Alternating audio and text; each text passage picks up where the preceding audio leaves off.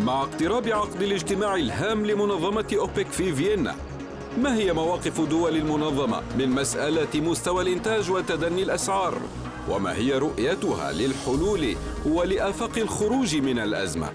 ثم أين مواقع ومواقف دول منظمة أوبك من العامل السياسي والجيوستراتيجي المؤثر والمتأثر بالسوق النفطية؟ أوبك بين ضغط السياسة وضغط المصالح الوطنية في بانوراما